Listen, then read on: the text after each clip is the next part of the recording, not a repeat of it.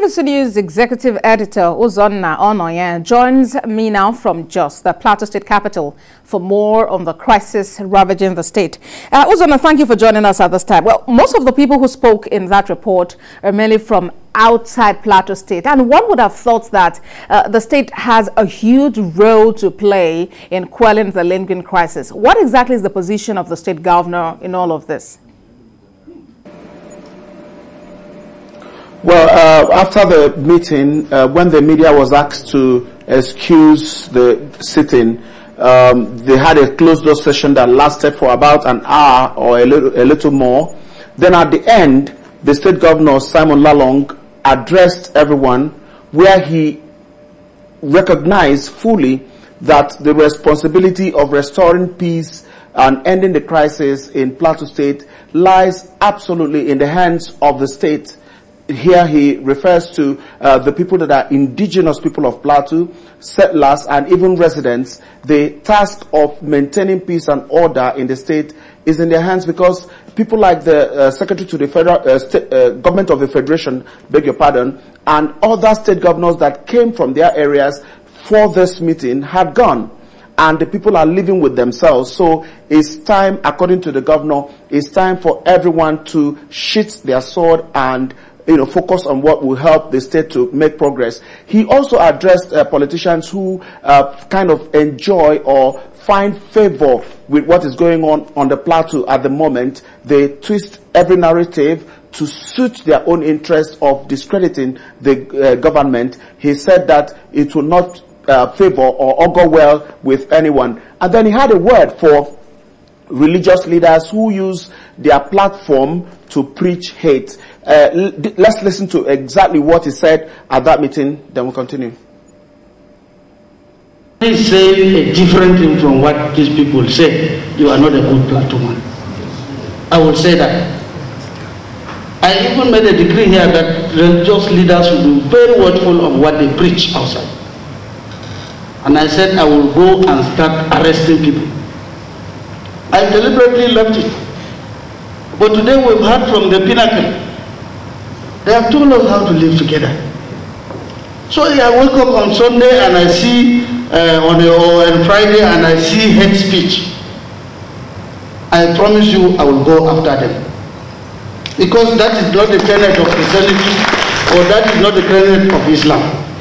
You are inciting people to go and cause Christ.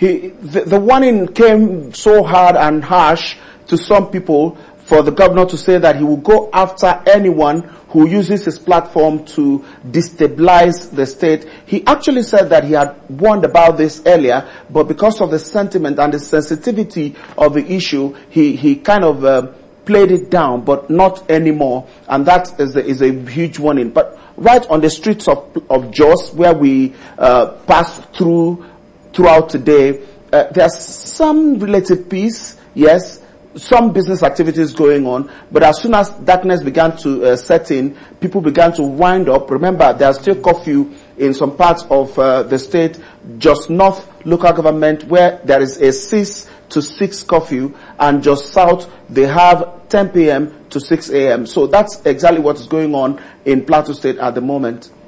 Uh, all right, uh, Uzonna, just today we're hearing about the death of about four people uh, again. And so it appears in some way that these crises, these acts of violence actually take place in the rural communities, maybe not, not necessarily in the urban centers where uh, you'd have formations of security operatives and all of those. Uh, is there any specific word about what would be done to manage the situation in such areas?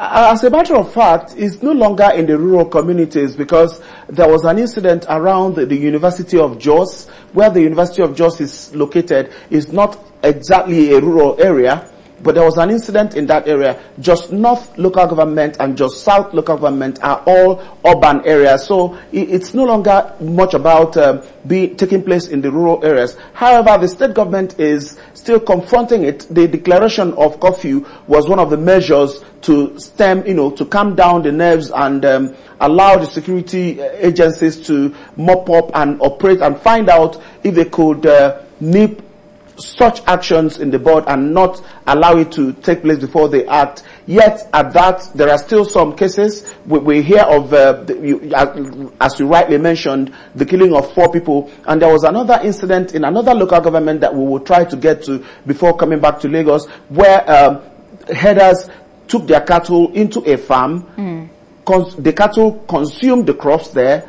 and the much that uh, the cattle couldn't finish, we were told that the herders used their cutlasses to destroy them. We mm. will go hmm. to find out what the truth situation is. But these are incidents that will continue to uh, create problem and tension in, in Plateau State right. until the people, the leaders of the people, decide to pass across the message of peace to their followers. Indeed, and that's one message that the governor, Simon Lalong, is actually emphasizing at this time, speaking to politicians, religious leaders, and uh, all of those. Executive Editor, TVC News Uzonna Ononye. Thank you for sharing your thoughts with us at this time.